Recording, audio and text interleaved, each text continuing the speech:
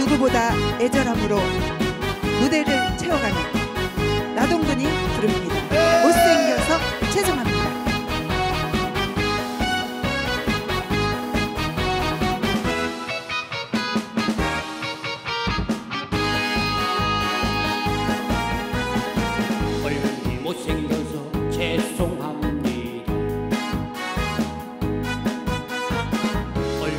잘났으면 앞에 섰을 텐데.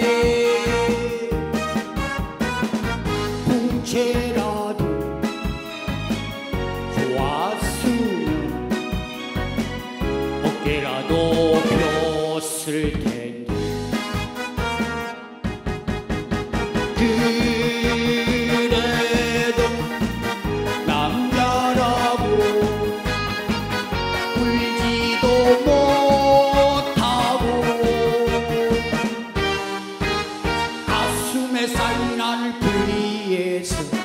이제는 조용히 조용히 뭔가 보여주고 싶습니다 뭔가 보여주고 싶습니다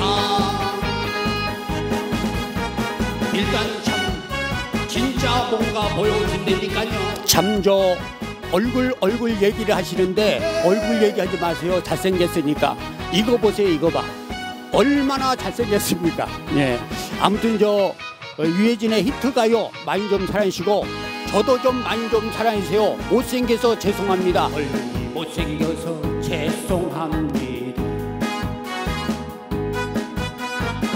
아무리 뜯어봐도 이렇습니다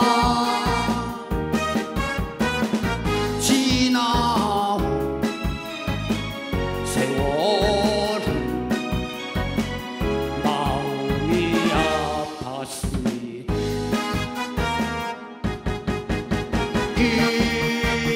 그래도 남자라고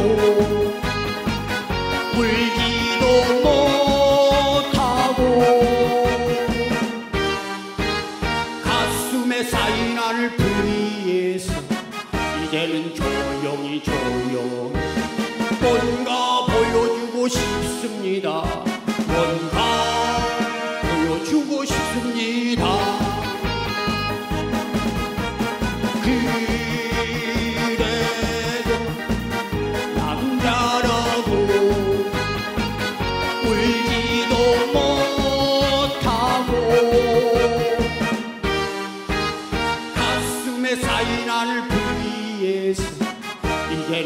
조용히 조용히 뭔가 보여주고 싶습니다.